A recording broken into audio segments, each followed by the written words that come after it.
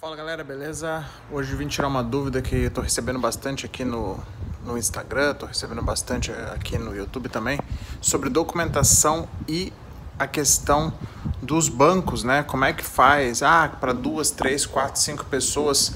É, só para deixar claro, isso é na hora que você vai fazer o triciclo, não tem como você depois mudar. Vou mostrar o meu aqui um pouquinho mais de longe, mas vai dar para ver legal. Ó, até caberiam duas pessoas aqui tranquilamente, né? Eu poderia aumentar só um pouquinho o banco, mas caberia.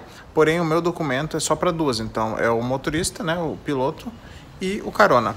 É, alguns triciclos já vêm documentado para três, colocam dois bancos, um de cada lado.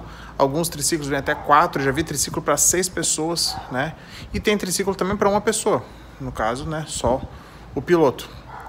Então, assim, o que eu recomendo, quando for construir, quando for fazer, já pense nisso, já pense na questão da documentação para quantas pessoas você quer levar, porque depois isso não tem alteração. Diferente às vezes de você conseguir alterar outras características, se você acabar colocando dois bancos atrás, levar mais pessoas, você vai ter problema sim se for parado numa blitz. Então isso é uma coisa que você tem que ficar muito esperto. Se você tem uma filha e uma mulher que quer viajar junto, no meu caso desse triciclo já não daria. Então eu precisaria de pelo menos um triciclo para três lugares. Esse até caberia, como eu falei, a questão não é o espaço físico, a questão é a documentação que vai estar tá lá, duas ou três pessoas.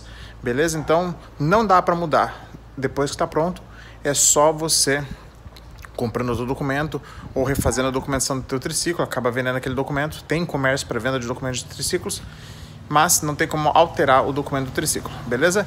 Espero ter ajudado vocês e até a próxima. Valeu!